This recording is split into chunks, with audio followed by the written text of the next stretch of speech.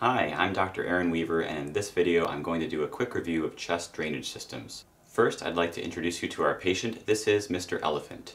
Unfortunately, Mr. Elephant has suffered a pneumothorax, but thankfully we have successfully placed a chest tube.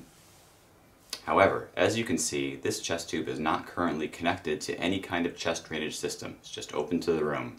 When our patient takes a breath in, lowering his intrathoracic pressure and drawing air from the room through his trunk and into his lungs, he's also going to draw air through this chest tube into his pleural space, where we don't want it. So something has to be done about that. As you can see, we have now connected the end of this tube to this other tube that goes to this jar. The tubing connects to this straw, which dips down into this blue water. This is water seal. Now when our patient takes a breath in, lowering his intrathoracic pressure, he can no longer draw air from the room up through the tube because the water is in the way. The water level will rise up in the straw, which we call tidaling, and when he breathes out, the air can come out and bubble through the fluid out into the room. But what if Mr. Elephant doesn't just have a pneumothorax, what if he has a hemothorax as well, or some other fluid draining from his chest?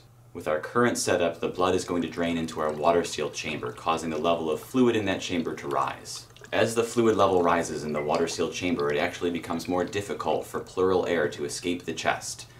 Eventually, this could impede lung re-expansion. We can solve this problem by adding another jar in front of the water seal jar, as you can see here. Now, fluid can drain and collect here instead of the water seal jar.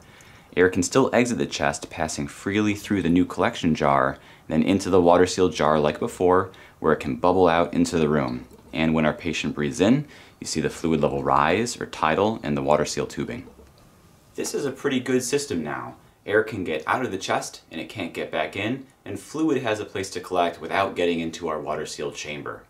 But what if the lung is still not re-expanding well despite this? Maybe there's a large air leak from the lung parenchyma itself, or maybe there's a lot of thick fluid that's difficult to drain from the chest, and this is where suction comes in. So connecting to wall suction will effectively pull air and fluid out of the chest. However, you don't want to connect directly to wall suction because of the very high negative pressures the wall suction is capable of. You want something in between that will regulate the pressures, and this is where a third bottle comes in. The suction control bottle steps down wall suction to the desired level based on the depth of this straw beneath the water level. If the straw is very deep, a higher level of suction can be transmitted to the patient.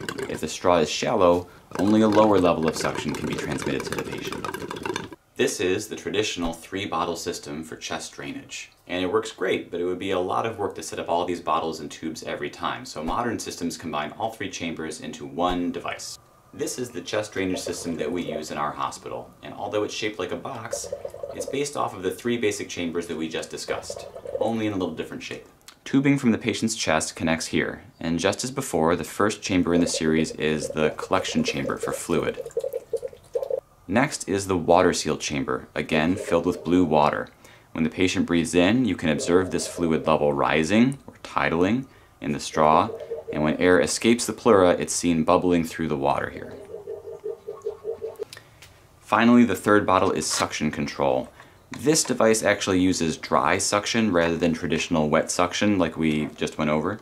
So the mechanics are different, but the idea here is still that the device allows you to step down the high level of wall suction to the desired level for your patient. That's our quick review on the basics of chest drainage systems. Thanks for watching.